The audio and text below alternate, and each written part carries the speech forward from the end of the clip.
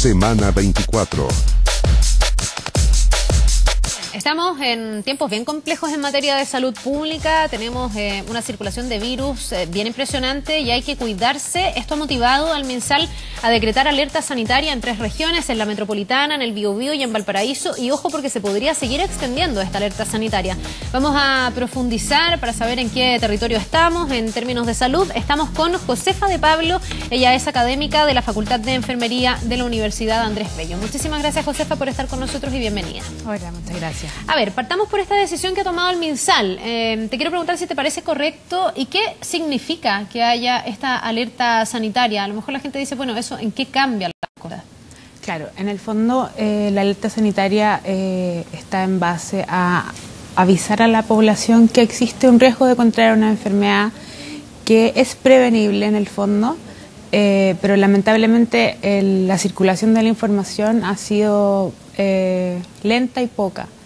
Por lo tanto, eh, existe esta contingencia en el servicio de urgencia, hay una alta tasa de personas que están con enfermedades respiratorias en este momento porque no se han tomado las precauciones debidas para evitar este tipo de cosas que pasan realmente casi todos los años. Ahora, ¿qué tipo de precauciones? Porque tú dices la información ha sido lenta y poca y yo ya no sé cuántas entrevistas hemos hecho realmente eh, diciendo cómo evitar los contagios, que es importante vacunarse. Me consta que el Ministerio de Salud ha tratado de llevar adelante campañas para recordar esto, que además no es solo este año, son todos los años.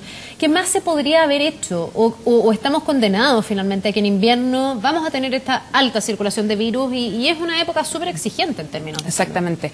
Existen factores demasiado importantes eh, dentro de esta estación del año que eh, sería importante reforzar. Por ejemplo, uno de los factores importantes de contraer este tipo de enfermedades, independientemente de las vacunaciones, es el estrés y la contaminación ambiental también.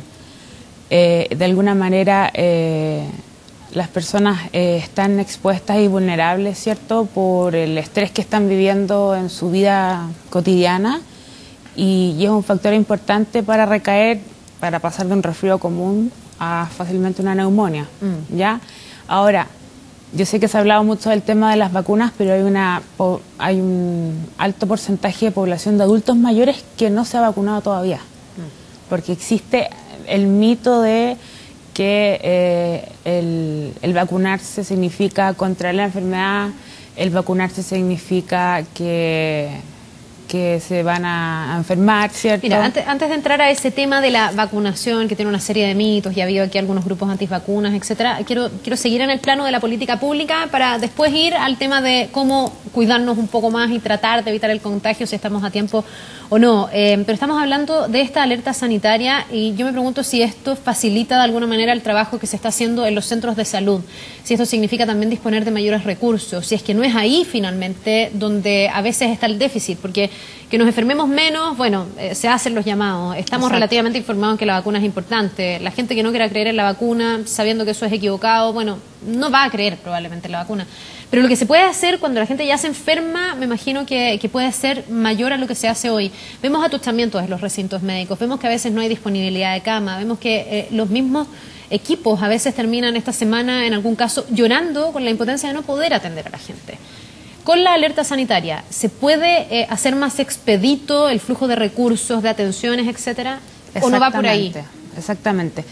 Eh, también importante dentro de la atención primaria de los centros de salud familiar, importante hacer eh, rescate más que los recursos materiales, los recursos humanos, en hacer gestión, por ejemplo, con las comunidades, en hacer estas educaciones sobre la prevención de la enfermedad, ¿cierto? Más que eh, invitar a, la gente a, seguir las, políticas de prevención, ¿cierto?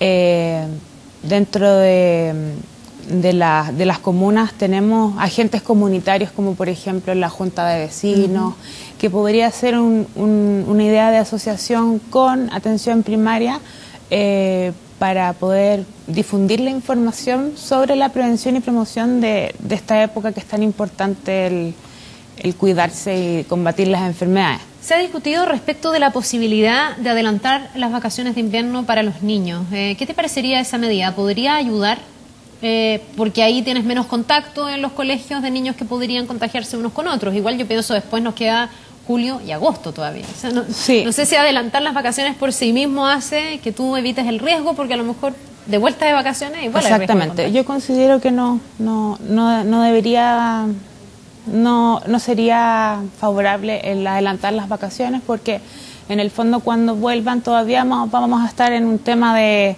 condiciones ambientales que están propicias para poder tener una enfermedad. Porque la circulación de virus y esta exigencia mayor para nuestro sistema de salud me imagino que es hasta agosto. Exactamente. Y casi septiembre, pensando en que todavía podemos tener bajas temperaturas, lluvias. Y la humedad. La humedad es muy importante para la transmisión del virus. ¿Aquí estamos solo mirando la influenza o tenemos otras enfermedades que también están generando eh, muchas más atenciones? Porque hay otras cosas que también son frecuentes, el virus incisional, por ejemplo, y ahí no tenemos vacuna, ahí es mucho más difícil prevenir. Exactamente. Eh, ¿Por qué se habla tanto de influenza? Porque la influenza es una enfermedad que es mortal podría llegar a ser mortal. Pero claramente, como tú dices, existen otro tipo de enfermedades que es el típico resfriado común, ¿cierto? Que está asociado a un virus de, baja complejidad, a diferencia de la influenza, que en el fondo no dura más de tres a cuatro días. El problema es que los síntomas son mm. eh, reparecidos a la influenza. Entonces ahí está el tema de la educación, de decir, bueno, qué es lo que está pasando, cuáles son los signos y síntomas, por ejemplo, en mamás primerizas con, niños eh, se asustan y van al servicio de urgencia y, la guagua en verdad solamente tiene un resfrío. Entonces va a un lugar donde altamente podría contagiarse el claro, ahí hay, dos cosas que ocurren en simultáneo, que por un lado tú vas a un lugar donde hay virus circulando y puedes al final agudizar el cuadro que tiene esa guaguita y por otro lado también le pones una presión adicional al sistema de salud, a ese, ese FAM, a ese hospital, a, ese, a esa urgencia eh, porque se empieza a tochar las personas que están ahí. Em, ¿También el virus incisional está teniendo mayor eh, relevancia durante estos días? Porque ese también puede ser un virus sumamente complicado para los grupos de riesgo, las guaguitas, los adultos mayores. Para los asmáticos Sistemas inmunológicos deprimidos también. Exactamente, sí. Ha tenido bastante, eh, ahora más, ha estado más en boga por el tema de la humedad, el tema del simple contagio de persona a persona eh, las, medidas de transmisión, entonces eh, es importante eh, saber, por ejemplo, cosas básicas como el lavado de manos, la gente que es usuaria del metro, por ejemplo, importante que haga lavado de manos. Y cuidar nuestro sistema inmunológico, que es muy importante eso. Y tratar, yo entiendo, de evitar las aglomeraciones. de pronto hay, no sé, en esta época del año, guaguitas muy pequeñitas que andan en el mall con sus papás. Y tú dices, ¿será necesario traer a esta guaguita justo hoy día y en esta época al mall? Eh, ese tipo de cosas, tratar de evitarla. Exactamente. Ciertamente los bebés no tienen la, eh, su sistema inmunológico ya desarrollado como un adulto, pero a, cierta edad, ¿cierto? Eh, es preferible mantenerlos en un ambiente protegido. Sin embargo, el tema, por ejemplo, de la exposición de los niños a un jardín infantil, donde van a haber niños que probablemente sí vayan a contagiar al, otro.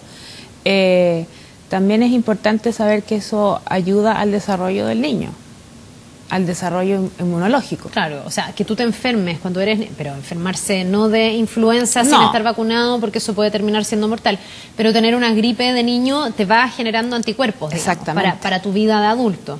Por tanto, tú dirías que tampoco se trata aquí de poner a los niños en una burbuja y tratar de que no hagan absolutamente nada y no interactúen. Exactamente. O sea, si el niño se enferma, claramente no lo voy a mandar al jardín, pero si se recupera, tiene que volver a su vida habitual. Mm. ¿Cuál es la clave para la gente que nos está viendo em, para saber cuál es el momento de efectivamente ir a consultar? Porque estamos en una línea bien delgadita. Tú hablabas de las mamás primerizas y es ahí cuando uno más temor tiene, probablemente. Eh, pues está recién conociendo esa guagua y muchas veces no sabe por qué llora, qué le pasa y cualquier cosa te alerta. Eh, pero también con los adultos mayores y con los grupos de riesgo. Cuando tú dices, ahora sí que tengo que ir a consultar, esto ya no es un resfrío común, ya no es una gripe leve que se va a pasar, esto no sé, tiene que ver con que se ha, mantenido mucho tiempo, tiene una duración muy prolongada o tiene tal síntoma que a mí me alerta, ¿cómo saberlo? Existen signos y síntomas que son eh, prevalentes dentro de una enfermedad que al término ya de, la, etapa de virulencia, ¿cierto? Se deberían acabar. Por ejemplo, una fiebre sostenida en un niño, ¿Fiebre de cuánto es una fiebre sostenida? ¿Cuánta temperatura durante cuánto tiempo? Sobre 37,7, 38. Más Ya. de dos días es para un niño es mortal. Más de dos días de fiebre, Sí. eso- ya ahí tú tienes que reaccionar. Sí. ¿Y, y te tienes que dar ese periodo de dos días de observación? No, yo diría que menos. Menos. O sea, si al día siguiente la fiebre no baja, Exacto. dándole remedios para, para que ojalá baje, Exacto. Y no Ah, ojo de- con el tema de los remedios también, que es importante no automedicarse, porque muchas veces eh, los antigripales que están al- a la vista de nosotros, que son llegar y comprarlos en las farmacias, eh, solamente curan los síntomas, porque el, el virus no tiene cura por sí. claro. Eh, volviendo al tema... eh, Pero entonces, perdona, no darle ningún tipo de remedio a un niño o preguntarle al pediatra. Hoy día hay muchos pediatras que afortunadamente te contestan Sí. a distancia y te dicen, mira, dale tal cosa, veamos. Eh, Exacto. Por ejemplo, ya, según esas indicaciones, si no hay cese de la, de la fiebre, hay decaimiento, hay llanto, hay... la mamá va a notar un cambio, eh, a lo mejor el bebé se pone más letárgico, más lento. En el, en el caso de los adultos mayores hay compromiso del estado general, puede haber deterioro de conciencia, eh, deshidratación, ¿ya?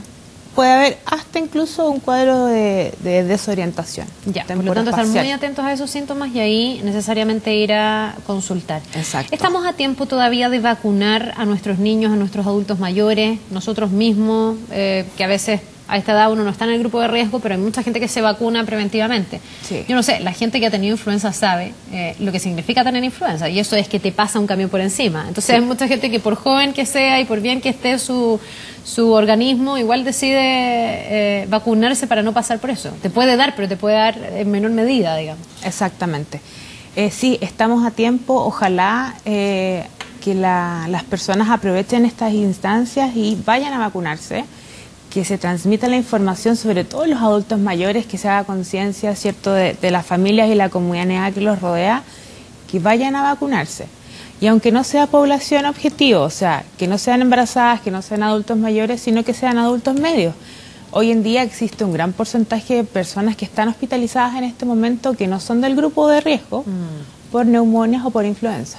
Ya, o sea, también en esos grupos tener cuidado. Exactamente. Pero particularmente en nuestros niños y nuestros adultos mayores y pacientes asmáticos, por ejemplo, en el caso del sincicial, Exactamente. súper, súper complicado. Súper. Bien, pues Josefa, muchísimas gracias por esta Gracias entrevista. a ti. Que te vaya muy bien, ¿eh? que tengas una buena jornada.